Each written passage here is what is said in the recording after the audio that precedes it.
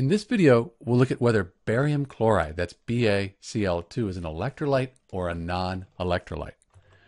We need to first look and see what type of compound we have to figure out if it's an electrolyte or non-electrolyte. So barium, that's a metal, and chlorine, that's a nonmetal. So we have a metal and nonmetals, that's going to be an ionic compound. And if this is a soluble compound, when it dissolves, it'll split apart into its ions. If you know your solubility rules, ionic compounds that have chlorine, the chloride ion here, they are soluble in water. So it'll dissolve and split apart into its ions in water.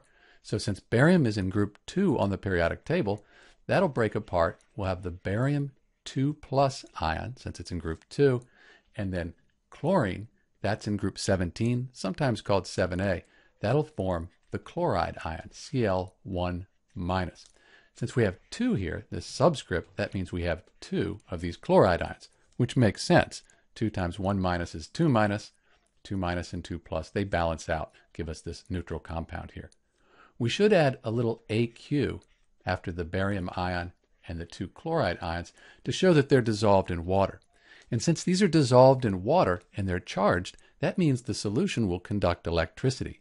And BaCl2, that is an electrolyte.